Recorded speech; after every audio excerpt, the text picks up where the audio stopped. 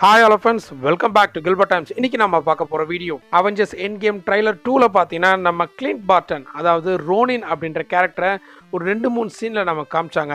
So நிறைய குழப்பங்கள் இருக்குது இவர் எப்படி வந்தார் ஏன் வந்தார் எதுக்கு இவங்கள வந்து நட்டாஷா பார்க்க வந்தாங்க அண்ட் யாருக்கு ட்ரைனிங் கொடுக்குறாங்க அப்படின்னு சொல்லிட்டு.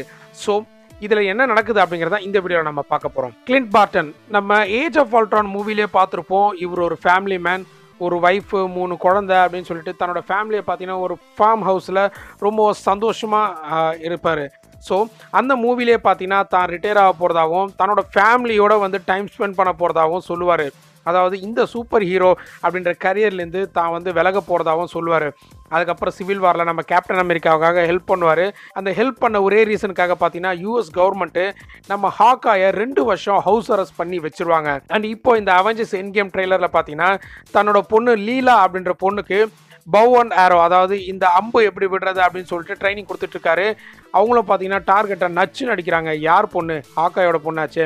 ஸோ இந்த இடத்துல என்ன நடக்க போகுது அப்படின்னு பார்த்தீங்கன்னா அவரோட பொண்ணு பார்த்தீங்கன்னா தன்னோட கண்ணு முன்னாடியே ஸ்னாப் ஆகி இறந்து போகிறத இவர் பார்த்துருப்பாரு. ஸோ தன்னோட டோட்டல் ஃபேமிலியும் வந்து அழிஞ்சு போகுது. அதுக்கப்புறம் ஹாக்காய் தன்னோட எல்லா நம்பிக்கையும் இழந்துடுறாரு. தன்னோட ஃபேமிலியை திரும்ப எடுத்துகிட்டு வர முடியுமா அப்படின்ற நம்பிக்கை இழந்து ரோனின் அப்படின்ற கேரக்டராக மாறுறாரு.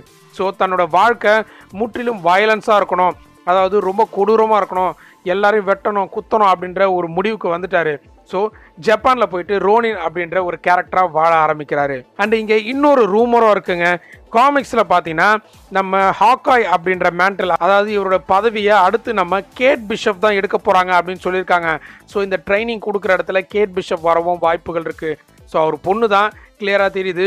இருந்தாலும் அவெஞ்சர்ஸ் என்கே மூவியில் கேட் பிஷப் வரவும் நிறையவே வாய்ப்புகள் இருக்குது என்னடா அது எப்படி இவ்வளோ கிளியராக சொல்கிறீங்க அப்படின்னு நீங்கள் கேட்கலாம். ஆக்சுவலாக காமிக்ஸில் இது நடந்திருக்கு. அல்டிமேட் காமிக்ஸில் பார்த்தீங்கன்னா நம்ம கிளின்ட் பார்ட்டனோட ஃபேமிலியை கொன்னுடுவாங்க.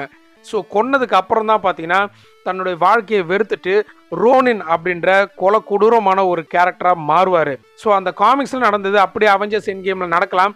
என்ன இந்த இடத்துல அவரோட ஃபேமிலி ஸ்னாப்பில் இறந்து போகிறாங்க அவ்வளோதான் ஸோ வித்தியாசங்கள் இவ்வளோ தான் மோஸ்ட்லி இதுதான் நடக்க வாய்ப்புகள் இருக்குது